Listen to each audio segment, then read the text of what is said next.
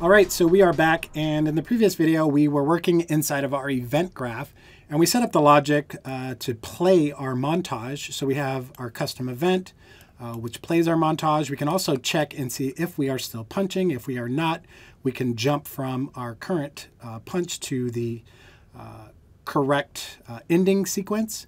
Uh, so our, our setup for our montage is almost complete. Uh, the final thing that we need to do actually is inside the anim graph. So inside the character animation blueprint, again, if you don't have it open, uh, just hop to the content browser, character, and the character anim BP. And on the graph tab inside persona, hop over to the anim graph. Now here is our locomotion state machine, which has uh, you know all of our states in it, our auto walk run, jump start, etc. Uh, what we need to do inside of our animate graph though is add our uh, punching montage uh, kind of as a uh, interceptor between we get to our final pose here. So what we want to do is right click in the graph and we're going to search for, uh, what is the, we want to add a slot. So search for slot and it's going to have an option for slot, default slot. Go ahead and select that. And you can see it gives us uh, two poses here. So let's connect our locomotion to our source here and then connect the out pose to our result. Now, what we need to do, let's click on our slot. If you look down in the details panel down here, there's a slot name section. So go ahead and click the drop down for that, and you should see our default group upper body that we set. So go ahead and change it to that. So now what happens is whenever this uh, upper body slot is called, it's going to play this on top of our current uh, pose from our locomotion before going to the final animation pose. So we can test this really quickly. Let's compile and let's save.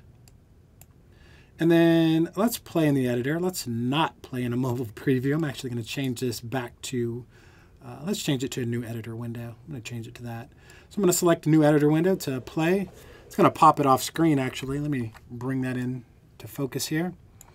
Now what happens is if we punch, Look what our character does. He starts punching, and he kind of pops up and down and does all kinds of funky stuff there. Also, if we move, you can kind of see he's running around and he stops moving, his legs. So there's all kinds of funky stuff happening. But our punching montage is essentially working. We can press it once or we can hold it down. Uh, but we need to do a little bit more adjustment to get it the way that we expect it to work. So I'm going to escape and go back to our anim graph here. What we need to do is, let's actually move this over just a little bit to create us some more room. And what we're going to do, let's disconnect uh, our slot nodes here. So we're going to right click on this pin and break link. Right click on this pin and break link. Uh, we need to right click in the right click in the graph and search for a blend per bone. So blend per bone. So you're going to get the layered blend per bone option. So go ahead and select that. And you can see it gives us two uh, poses here uh, that we can blend between and, and going to blend those into a final output pose. So the output pose is pretty simple. We can connect that right to our result here, like so. But what we need to do now is, I don't want to say it's tricky, it just requires a little bit of, of forethought on how you want to set this up here. We kind of need to get uh, our current locomotion pose, whatever we are currently doing as our base pose, right? So whatever we are doing as our base pose, but we also need our upper body slot. We need a way for our upper body slot to receive a source input as well. And we currently cannot select our locomotion, our output pose, to our source. If you try to do that, it removes the base pose. So we can only have one plugged in at a time. So what's the way around this? Uh, what we can do, if we drag off of our locomotion uh, state machine here, and we release, and we search for cache, it's going to give us the option to create a new save cached pose. So go ahead and select that, new save cached pose. Uh, it's going to give us a funky name, so I'm going to select that node and rename that down in the details panel here. Now we're just going to call this the locomotion cache, like so. Now if we connect our locomotion state machine, our pose from our locomotion, into this cache pose like so, what we can do is right click again inside the graph and search for that locomotion cache. So loco, locomotion cache. You see we have the option to use cache pose locomotion cache. So go ahead and select that.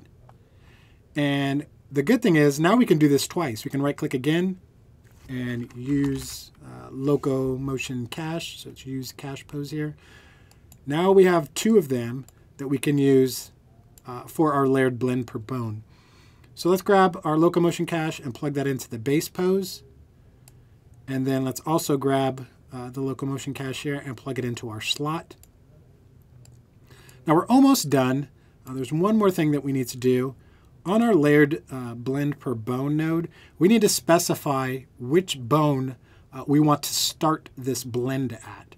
So what we're doing essentially is we're taking our locomotion, getting that pose, and blending it with uh, another pose that can use our slot here. But at what bone do we want to start doing that? So to do that, uh, with our bone, with our node selected here, inside the details panel, if we go down to layer setup, under config, and under element zero, uh, we can click the plus sign next to the branch filters here. So click the plus sign, and it's going to give us the option to name the bone that we want to start our blend at. Now if we hop all the way up here to the left inside of our viewport, there's an option under show where we can show the bone names. Let's go ahead and check that. And if we zoom in, there's all kinds of stuff on screen here, but if we zoom in, we can specify you know, the bone name that we want to start this blend at. So uh, as we mentioned, we only want this to occur on our upper body, our slot, our punching animation sequence.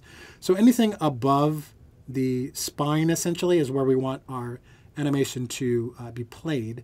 So on our layered blend per bone node, if we select it again, and our bone name, we're going to use spine underscore one, zero one. So make sure that you get the exact naming uh, convention. It has to be the exact same. So we're going to call it spine underscore 01. Now there's an option for blend depth. Uh, I'm not going to get into this too much. It kind of adjusts the way that it blends essentially, but we can leave it at zero for our purposes. I think that's fine. Uh, let's actually compile and test this. I think we should be good to go now. So let's compile and let's save. And then let's test this in the editor. Let's go ahead and play. So we have the option to punch now. Looks a lot better. Character's not dipping down anymore. It's only playing above our spine. Notice that our legs are still playing our idle motion. So that means we can run around and punch at the same time. We can also jump as well and punch. Because our blend is taking into account our uh, locomotion pose as well as our montage. So we are set. I think we are done here. We can actually pause. Uh, in the next video, uh, just for fun, we're going to add uh, some collision around our hands so that we can affect the world. Uh, now, disclaimer on this, this is probably not the ideal way to do it, but it's one way that you could do it. Uh, so we'll set that up really quickly to show you how to do that. Uh, so that's going to wrap this video. We will see you in the next video where we will set up the collision so that we can start punching things. Thank you guys for watching, and we'll see you then.